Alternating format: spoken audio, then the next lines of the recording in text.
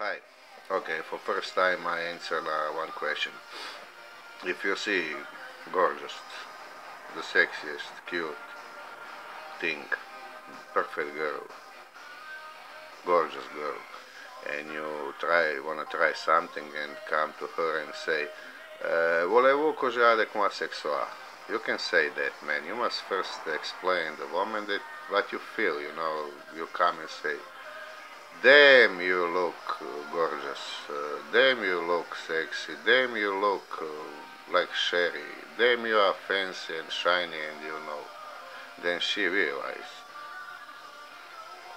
that you have feeling and everything else is good. Okay, then you can I don't know fly together in a space shuttle live for the moment, happy ever after, live in the happiness of past several years of pure uh, zen and I don't know, uh, you know, it's life.